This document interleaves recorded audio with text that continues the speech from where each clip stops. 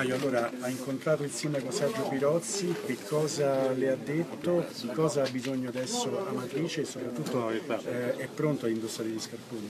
Gli scarponi già ce li ho, in ogni caso noi facciamo le leggi a Roma in Parlamento, ma non è detto che le leggi funzionino perfettamente, dobbiamo renderci conto sul campo se le leggi stiano funzionando oppure no.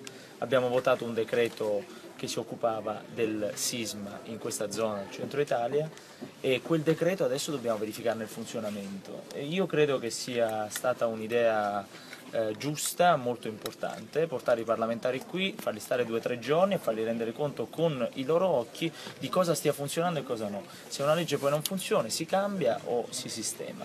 E, è un concetto anche più grande, immaginiamo se i parlamentari fossero obbligati ogni mese a fare la vita eh, un giorno al mese dell'insegnante colpito dalla buona scuola, del lavoratore colpito dal Jobs Act, probabilmente smetterebbero di parlare di leggi elettorali e si occuperebbero di problemi concreti. Che cosa le ha chiesto concretamente Beh, alla fine di questi tre giorni poi faremo un consuntivo, per ora ci sono tante questioni sul tavolo e le vedremo un po' alla volta sul campo. Pirozzi ha detto che è molto soddisfatto di questo decreto terremoto. Sì, sì, ma infatti è stato votato all'unanimità dal Parlamento. Come dicevo però, come ogni legge bisogna verificare se funzioni oppure no. Quanti cittadini hanno accolto con gioia buone leggi e poi si sono resi conto che quelle leggi non funzionavano nella vita reale?